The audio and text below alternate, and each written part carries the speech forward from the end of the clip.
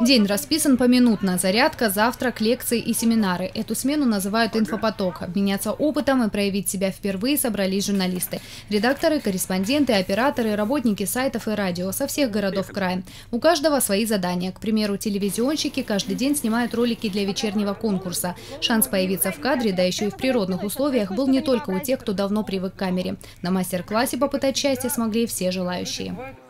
И сейчас за моей спиной проходит мастер-класс, который собрал всех телевизионщиков смены «Инфопоток». Команда журналистов из Сочи отличилась первый же день убедительная победа в конкурсе визиток. Из 22 представлений презентация столицы зимних игр была признана лучшей. Впрочем, цель сочинцев не только себя показать, но и у других поучиться. Если честно, у меня нет э, вопросов в профессии, потому что в профессии я тоже не, не один год и, и даже не пять. А, мне просто интересно общаться с людьми, которые э, больше меня в профессии, которые знают другую журналистику, э, которые работают э, в других направлениях. Мастер-класс приехала провести Екатерина Менькова, заместитель директора гостелерадиокомпании «Кубань».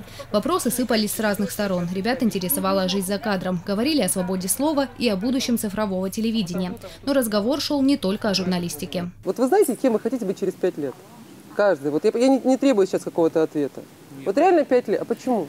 Когда у человека есть свой маленький бизнес-план своей жизни, он пытается каждый Новый год, по крайней мере, так делаю я, каждый намечать себе цели и там корректировать их вдруг, если они не получаются. Если они не получаются, я себе задаю вопрос. Ни маме, ни папе, ни, ни руководителю района. В смене начинающих журналистов об истории беспроводного телеграфа рассказал Андрей Андреев, руководитель Вести ФМ. Говоря о современных технологиях, он даже поймал в лесу сигнал американского радио.